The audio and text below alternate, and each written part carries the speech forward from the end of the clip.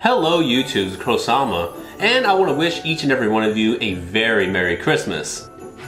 So I'd like to go ahead and let each and every one of you know that I'm very appreciative of you coming to visit my channel throughout this entire year. We got we gained so many new subscribers, a lot of new family members to this community, so I definitely want to extend a thanks to each and every one of you.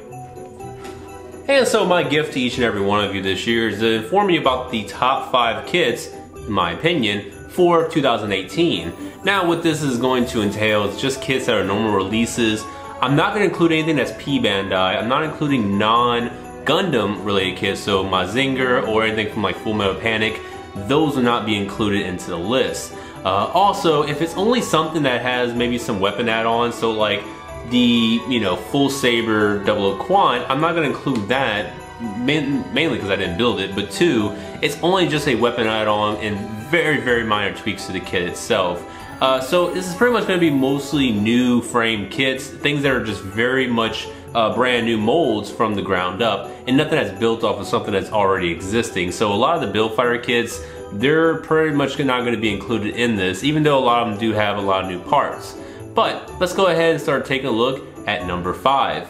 And coming in at number five is the high grade after colony, Leo. This is one amazing grunt suit.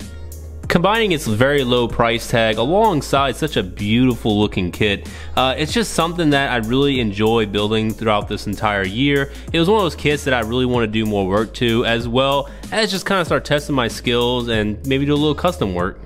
Now for what you get inside the box is not going to be much. You're going to see all you get right here and a couple of beam sabers. So very minimum, but I think that's what makes this kit pop so much is that you're not going to get a large amount of things to up the price. So with it coming around like 10 bucks, that's just something that's really going to make this kit, you know, pop out a little bit more because if you want to do some kind of work as far as maybe panel, you know, scribing or if you want to go ahead and, you know, try out some paint, this is definitely going to be a great canvas to go ahead and try all that on.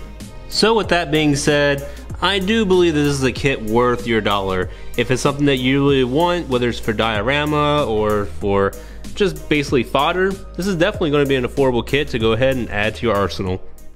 So number five was actually a pretty good choice in my opinion. I think it actually, uh, it, it was something that was very simple, something that's very affordable, and just overall easily accessible. So with that, I think we can go ahead and confidently move on to number four.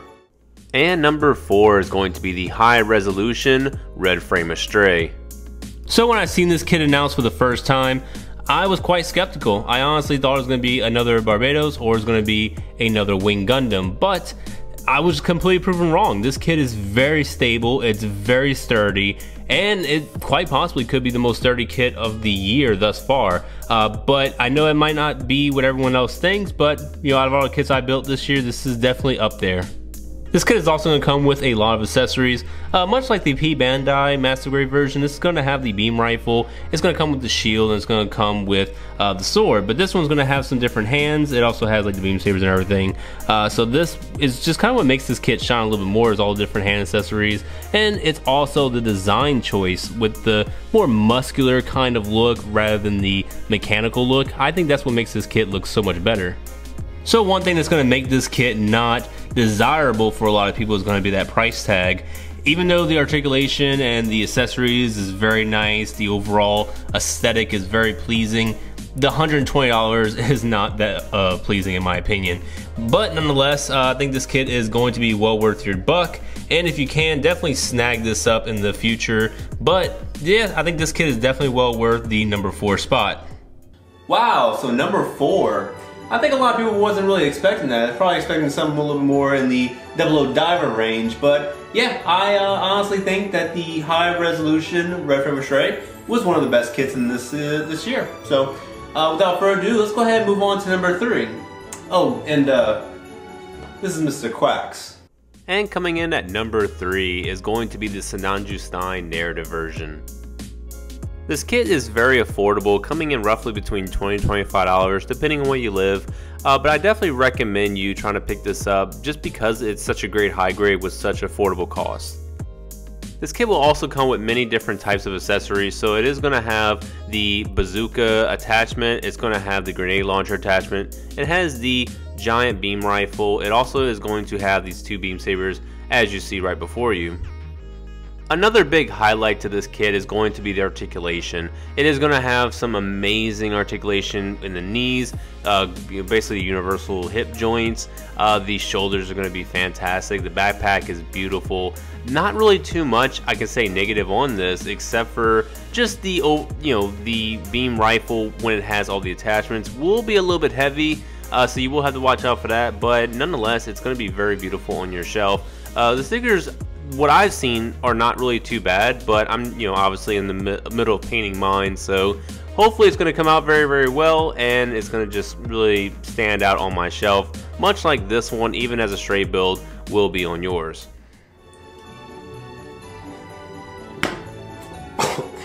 Krow, maybe it's, uh, maybe it's time you slow down. I'll, I'll stop when I'm ready, Steve. God damn it. All right. Um, on on what, what number are we on, Steve? Two. Back on three. All right, number three. Let's let's go. And here is number two in my list. So I think this comes as no surprise to a lot of people because I gave this kit so much praise when I actually did the review. So this is the RG Sazabi. Wow, just completely breathtaking kit all around. I love the details, love the articulation. The price tag is gonna be a little bit more steep than most RGs, coming in around like $45 to $50, really depending on where you're gonna be able to get this at. So it's very up there in price in terms of RG, but it's gonna be much larger than the average RG, and it is just gonna be a very breathtaking and stable kit. Now this kit's gonna come with quite a bit of accessories. You're gonna have the beam axe, you're gonna have the beam sabers, the shield, the beam rifle, and you're gonna have all these little funnels as well as some different hands. This kit also comes with some beautiful stickers for uh, essentially the, like the decals, but I did not use them because I do plan on painting this kit at least sometime in the future. And the necessary stickers is just going to be limited limited to uh, which is going to be the eye, the little mono eye, and it's going to be the green for the top sensor on the head, as well as the beam rifle. So other than that, this kit is very, very beautiful with minimum uh, like add-ons. Essentially, you don't really need to do much panel lining. You don't need to do much of anything to have this kit just look super beautiful on your shelf. So out of all the Sazabis I've ever seen and built, I would say this is definitely going to be one of the better ones. Maybe maybe not as much as the Ver.Ka, just because the Ver.Ka definitely has a lot going for it when it comes to details and uh, gimmicks. But this kit is going to be highly posable. It's going to be very affordable. It's just all around a very solid kit. And I'm not much of a Zeon guy. I'm, I'm much for the Earth Federation Force. Uh, but this is one of those kits that I just, I need it in my collection. I absolutely need it. And I do have the Ver.Ka as well. And this just kind of like looks really good alongside that one as well. Uh, with different poses I can go ahead and put it in. Now, if this kit is not in your collection come next year, I'm gonna be very disappointed. I think this kit is definitely worth uh, the purchase. I think it's definitely needed in every person's collection. If you just want to, if you want a kit that's going to be superposable but very bulky and huge, this is definitely the one that you're going to want. So yeah, I, I, definitely recommend this to any builder of any type. If you your preference is Earth Federation Force, still pick this up because this is going to be a good. Um, pretty much a good kit to have with your new Gundam, especially if they come out with a real grade version, which I do think is going to be next year. But yeah, this is a very beautiful kit and well deserving of number two. And before we go on to the number one spot, I want to just talk about some of the honorable mentions I have. Now, the first one I want to mention is just going to be the Tallgeese 1.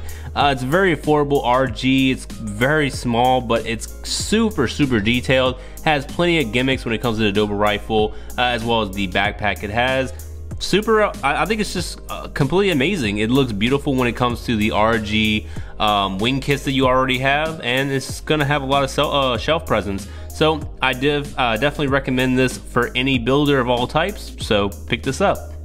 And the next honorable mention is not just a kit, but a line, the Cross Silhouette line. This has been one of my most favorite moments of 2018, just for the simple fact that these SD kits are just oh my god, they're super posable, they're fantastic. Now, some of them do come with a lot of stickers, but that's why I'm painting every single one. I'm, I'm definitely putting my own like kind of flavor on them, so if you definitely want to get into this line, I definitely, I, re I recommend just painting them because it's going to increase your skill set. It's going to give you a little more appreciation for the SDs, and it just looks really good on the shelf. So I'm very excited to go ahead and see what the future holds in 2019 when it comes to SD Cross Silhouette line. Uh, and I'm definitely just I'm, I'm super happy about this and you know definitely thank you Bandai for releasing an SD line that I can really get behind. So without further ado, let's go ahead and get into number one. As to many of you might have guessed, the number one spot is the high grade Moon Gundam. Just super, super fantastic. This kit just blew me away. I did not know anything about the Moon Gundam series, never read the manga, and yet this kit is just it's just amazing. I don't even need to know where it came from to just respect its beauty and to appreciate the overall design. The level of detail and articulation this kit presents definitely far exceeds most high grades of this year. Uh, especially since that this year has been kind of more of a reuse just due to the fact that we've had the Build Divers series. So they really borrowed a lot of, um, of the molds from older kits. This kit was just pretty much brand new from the ground up, not borrowing from anything. So alongside all those things I mentioned, this kit is really affordable. It comes in maybe about 25 bucks. And for a high grade of this level detail and also all the little accessories that it's going to come with, this is just really an instant buy. I think, you know, alongside the Sazabi, this should be one of those kits that you're really looking for in 2019 to add to your overall collection. So there's not really much more I can say except for please go out and buy it. Really experience this for your own. Um, I haven't really heard anything negative from other reviewers when it came to building this kit and the overall level of presentation it has. So yeah, other than that guys, uh, that's about it. So definitely thank you for you know spending this time with me, especially this entire year.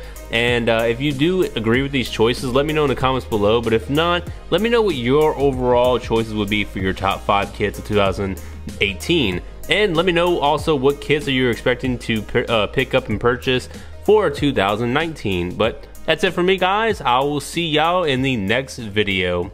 Bye bye.